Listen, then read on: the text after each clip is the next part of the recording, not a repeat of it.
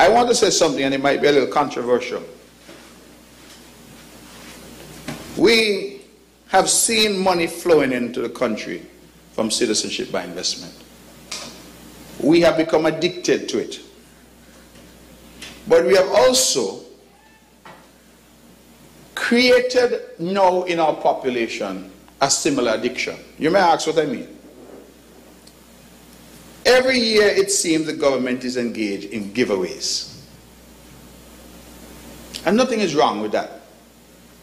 The government gives a double salary, our public servants work hard. Nothing is wrong with that.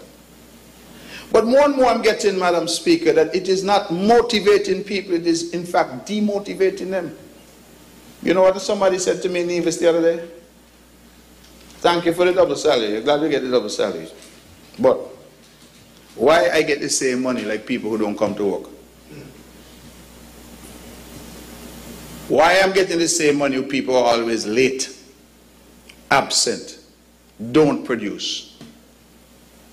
And so if I am a hard worker, and I know at the end of the year I'm getting a double salary, just like Punsi who don't come to work, and has no interest in work, who stays away as much as she can, who takes the two hours for lunch instead of one, then everybody get the same double salary.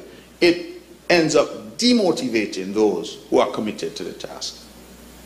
And we have spoken about it a lot. Punsi, sorry. Fictitious, why did that man name? Where Zook, who don't come to work. I apologize. I know. no, the, the speaker quite rightly chastised me. Why did Punsi have to be a woman? So I take that. Right? There's a there's a fellow here called Poochie. Maybe I should use that very mistake. But the point I'm making is, you know what is happening now with things like double salary? People now expect it.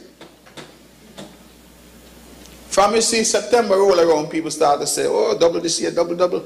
People start to spend it on all because it's now become a norm.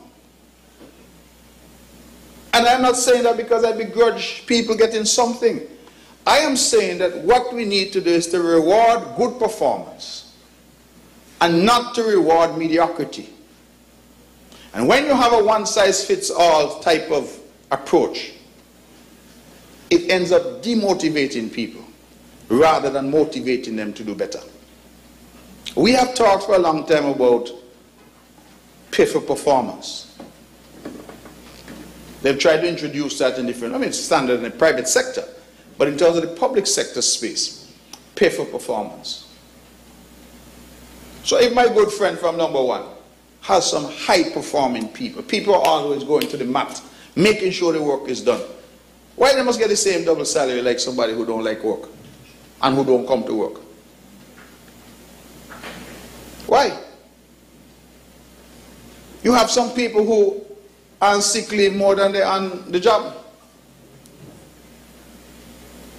But they collect. And so I am saying that what we are now doing is rather than using the same CBI and the same proceeds, we are creating out there an expectation in our public that this is the way things are going to go.